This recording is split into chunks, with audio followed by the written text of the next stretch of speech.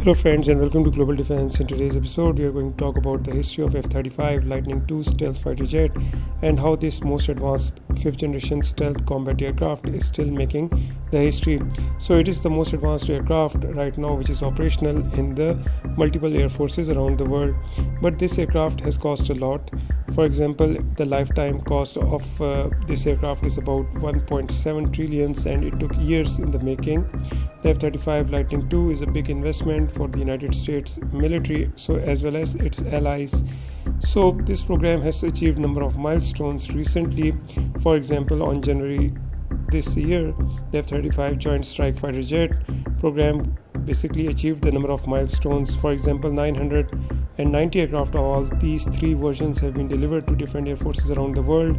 The operational fleet has logged over 773,000 hours of flight and about 469,000 training and operational sorties. In terms of training, almost 2,300 pilots have qualified to fly this stealth aircraft, and around 15,500 maintainers have qualified to service and support the, this aircraft. So, this aircraft is basically composed of uh, multiple expertise from the different countries. So this program basically comprised of 17 countries including the Italy, Canada, Australia, Denmark, Norway, Israel, Japan, South Korea, Belgium, Poland, Singapore, Finland, Switzerland, Germany and the Netherlands, the United Kingdom and the United States as well. Though there are other countries, for example, the Czech Republic and Greece, which are still waiting to join the development of this aircraft. So, out of these current participants, 14 services are flying the aircrafts, while 12 have declared initial operating capabilities, and there are 8 operational missions by the services. So far, the 17 participants have ordered around 3,500 aircrafts of all the three versions the F-35A is the most popular one and 2558 orders followed by the F-35B version with 575 orders and by the F-35C version with 340 orders. As far as the largest individual customers the US military alone has ordered almost 2500 F-35s for the Air Force Navy and the Marine Corps as for the F-35B version and F-35C version of this fifth generation aircraft can basically operate from the aircraft carrier as well as from the other warships in the US Navy. So Royal Navy and Italian Navy have been activated to support the advanced aircraft. Nine additional warships are slotted to qualify for F-35 operation by 2028.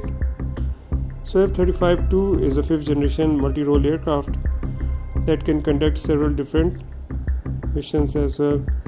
So there are basically three versions. The first one is F-35A, the F-35B, which can take uh, basically take the short takeoffs and vertical landing that can take off and land like a helicopter. And then you've got the F-35C, that is the aircraft carrier version of the stealth fighter jet.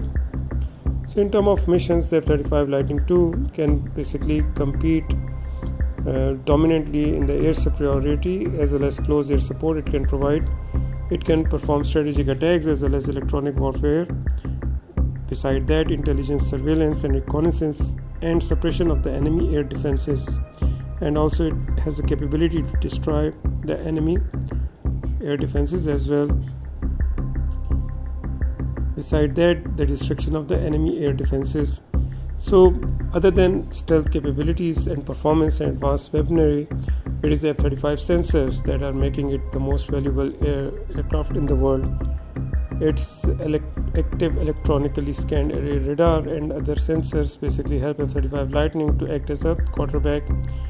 It can basically guide the friendly aircraft, the warships, the smart munitions, and the ground troops to a threat with a precision.